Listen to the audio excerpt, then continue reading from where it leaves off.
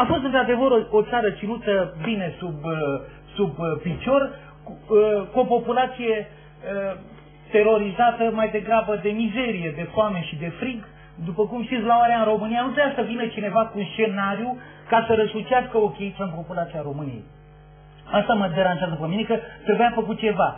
La ora 9 în România, copiii nu mai știu, la ora 9 se stingea lumina în toată România.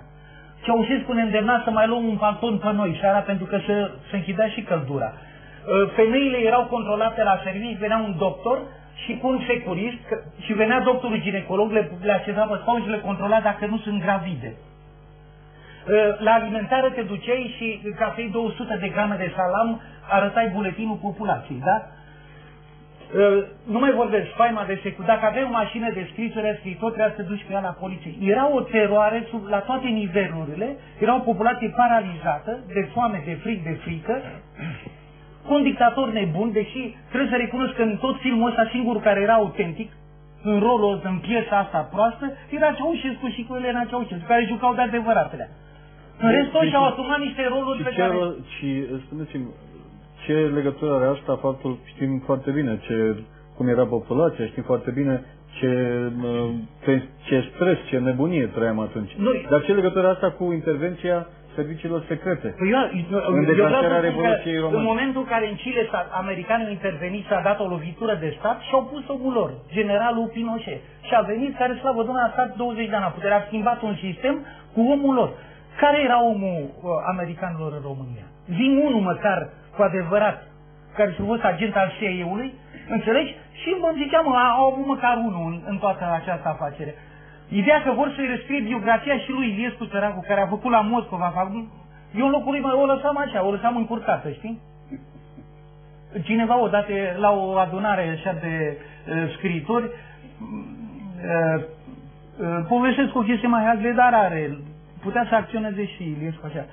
Uh, a făcut un banc uh, pentru că un personaj important dintr-o, la un țăr de carte era de origine evrească cineva a spus despre Marin Sorescu. Știi că și Marin, Marin Sorescu este evreu și că Marin Sorescu avea chef să ia premiul Nobel, să fie lansat în față și să spunea că, domne, dacă ai relații, nu Și uh, Paul Miron a făcut acest banc. Îl știi pe Paul Miron, profesor uh, din Germania, în fine. Un om foarte respectabil. Respectabil, dar cu un simț al unui așa. Și S-a dus și la Marin Sorescu și a zis, Marine, și atunci am spus domnului așa că ești evreu, nu știu ce poate. Uh, să-i spun că nu ești? Și Marin Sorescu ce a spus, zice, bătrâne, lasă-o încurcată, lasă-o încurcată. Eu mă zic că Iliescu n-a lăsat-o încurcată pe ideea că cia eu l-a pus uh, să conducă România, că îi spunea toată chestia, toată facultatea aia și tot ce a cântat el la Moscova cu Segera și Ciocanu. Da, domnul Vârăzan. Da. Ce spus? Sunt surprins.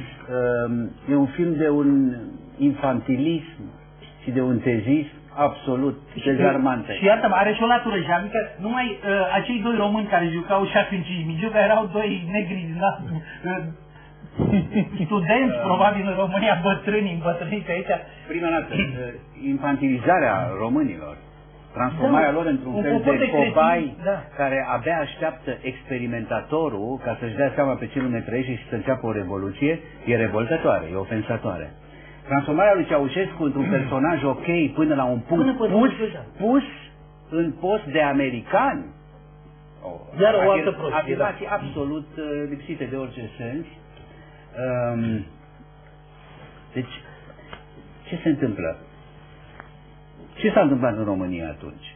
O țară aflată în pragul imploziei din cauza unei mizerii fără egal o țară cu o clasă politică complet inaptă și inactivă, o țară cu o poziție insulară, o țară desprinsă de Uniunea Sovietică în momentul cel mai prost pentru ea și cel mai bun pentru Uniunea Sovietică, pentru că acolo începeau să se schimbe lucrurile. O țară de care Occidentul era relativ neinteresat.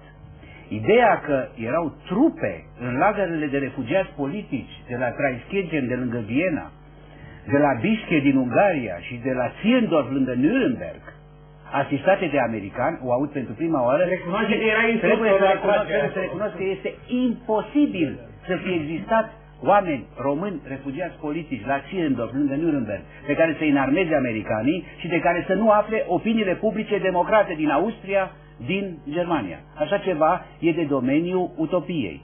Apoi, lucrăm la Europa Liberă. Da, domnul Stoienescu îmi spune că tu mai scrie în cartea domniei sale despre mine ca diversionist. Domnilor, vă rog să mă credeți.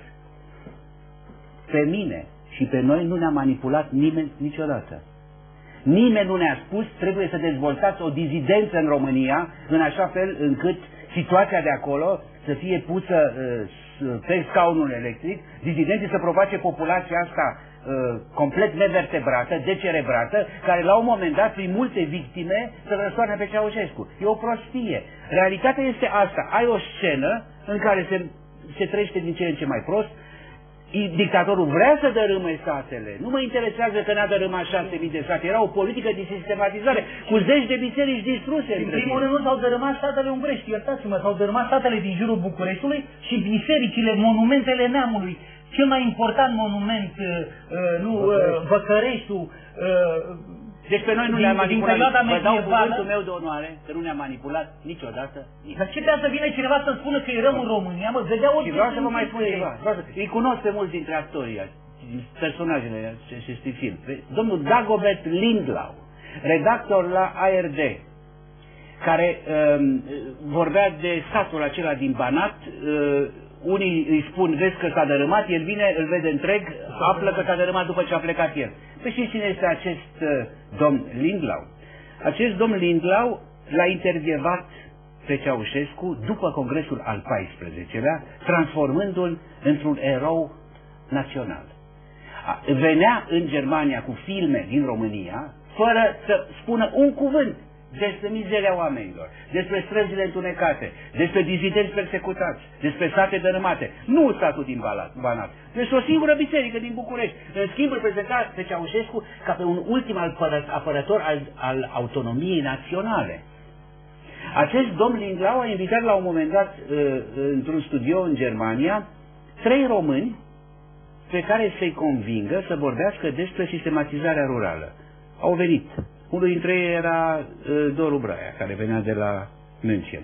Ceilalți doi era arhitectul șef al Bucureștiului și redactorul șef al revistei Viața Economică, Ioniță Olteanu. I-a adus acolo, Braia venind din, din exil, pe ceilalți doi a trimis regimul de la București, care să facă propagandă uh, lui Ceaușescu.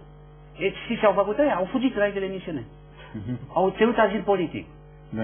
Doamna Durantă este uh, o persoană extrem de interesantă. Pune cu totul carul înaintea boilor, dar cu totul. Să-i transform pe americani în scenariștii Revoluției din România, pentru că nu e așa, în anul 2004, să transforme România în capul de pod pentru Caucaz, pentru Orientul apropiat, este um, o teză absolut transparentă. După părerea mea, avem aici de-a face cu o replică în forță, tezistă, contrafăcută, de fapt micinoasă și revoltătoare, a unor cercuri vest-europene, care încearcă acum o formă de vendetă pentru atitudinea pro-americană susținută a României din, ultim, din ultimul timp, din ultimile luni. Este clar o astfel de ripostă, sau și o astfel de ripostă. Domnul Stănescu. Mie nu mi se pare că anti-american, ci este pro-american așa. Nu, nu, nu, nu, nu, nu, Americanii sunt sunt capabili să facă... Păi americanii au fost capabili în Irak să facă... Uh, să-l dea pe... pe dictatorul cu Cristina, fără să intervină cu În măsura în care românașii sunt infantilizați și scoți din orice fel de circuit, rușii sunt angelizați. Observați aici ce triunghi avem? Românii sunt infantilizați, americanii diabolizați, pentru că e o mașinărie americană, nu? Iar rușii angelizați. Nu există ruși. Nu există ruși. Mai există unul cu barbă albă, cred că ăla era unul sărat pravoslavnic din Rusia. Domnul Stoinescu. Da. Uh, cred și eu că filmul are toate defectele prezentate până acum aici.